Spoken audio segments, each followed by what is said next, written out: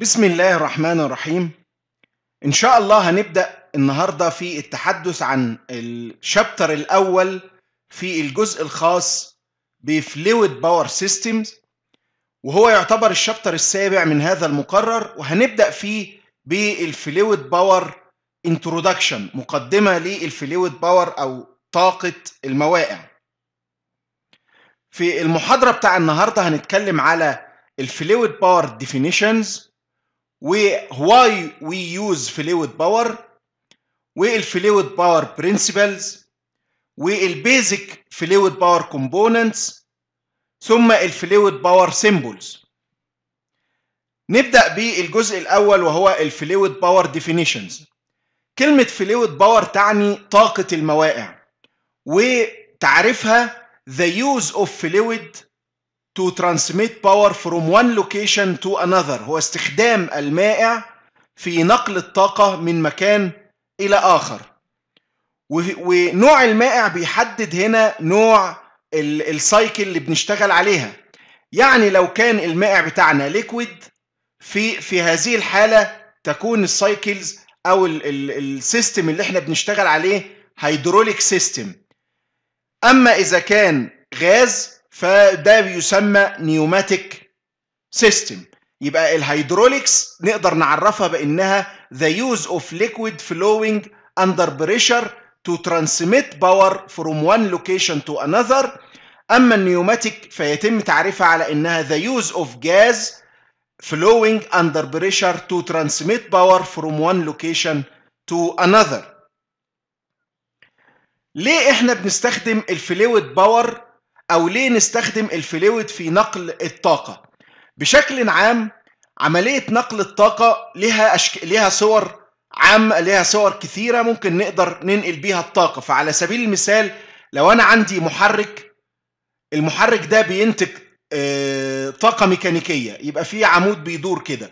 وأنا عايز أنقل الطاقة دي لمكان آخر فقدامي عدة حلول. من ضمن الحلول دي إن أنا أستخدم سير مثلا في نقل الطاقة أو أستخدم مجموعة من التروس لنقل الطاقة. وكذلك ممكن أركب على هذا الموتور أركب مضخة والمضخة دي تعطي الطاقة دي لفلويد لزيت مثلا والزيت يتحرك under pressure لمكان ما. وبعدين أحط في الجهة التانية موتور بحيث إن ينتج لي أو يحول طاقة الزيت إلى طاقة ميكانيكية مرة أخرى. وبذلك إحنا بنستخدم ال fluid في نقل الطاقة. طب ليه ال fluid وليه نستخدم ال fluid في نقل الطاقة؟ أول حاجة لأنه بيديني multiplication and variation of force. يعني ممكن في نقل الطاقة إنه يضاعف قيمة ال force وكذلك يديني يديني range واسع من ال force اللي بنقلها.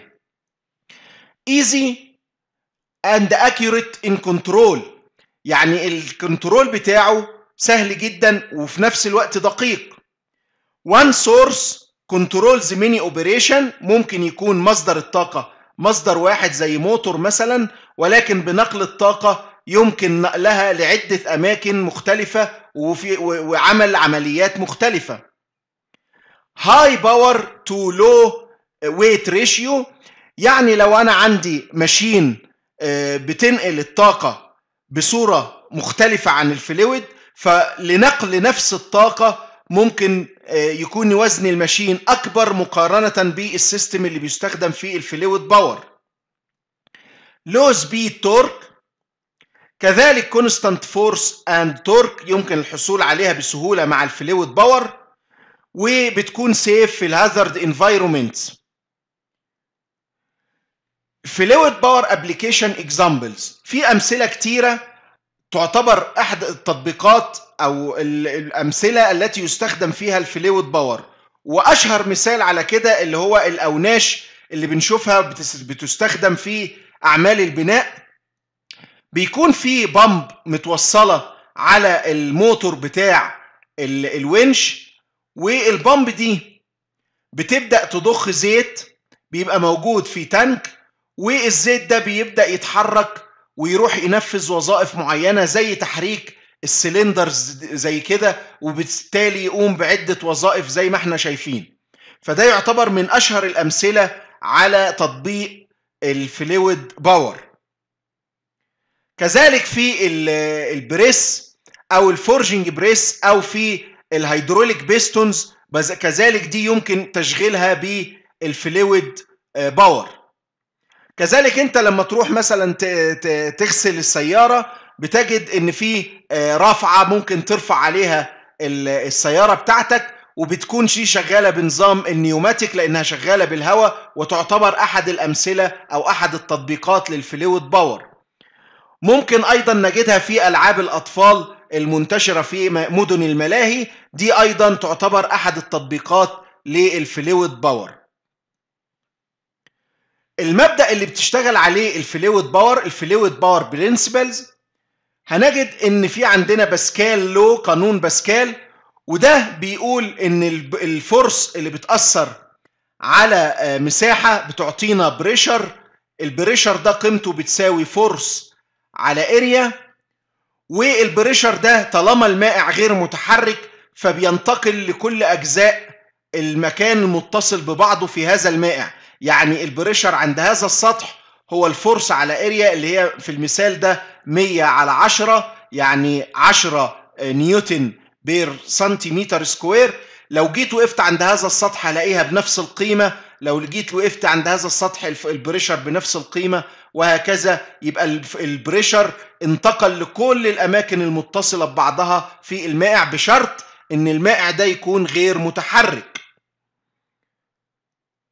ده يعتبر مبدأ أو هذا المبدأ يستخدم بشكل كبير وواضح في تطبيق اللي هو ميزان باسكال. فلو أنا عندي مساحة واسعة زي كده المساحة دي ولتكن على سبيل المثال 25 centimeter square وعليها 250 نيوتن فال pressure هنا لو حبينا نحسبه هيساوي 250 على 25 يعني تقريبا 10 نيوتن على السنتيمتر المربع. ال pressure ده قيمته بتنتقل في المائع يعني لو جينا عند هذا السطح هنجد لازم ال pressure تكون بنفس القيمة يبقى ال pressure في هذا السطح هتساوي ال force على ال area. طب ال area اللي هنا بواحد سنتيمتر square وال pressure بعشرة يبقى ال force في هذه الحالة بعشرة نيوتن. يبقى ده معناه إيه؟ معناه إن أنا علشان أعادل ال force اللي مقدارها 250 نيوتن أقدر أضع فقط على المساحة الصغيرة 10 نيوتن ولذلك ده يستخدم هذا المثال في الميزان باسكال اللي بيستخدم في وزن السيارات والحاويات الضخمة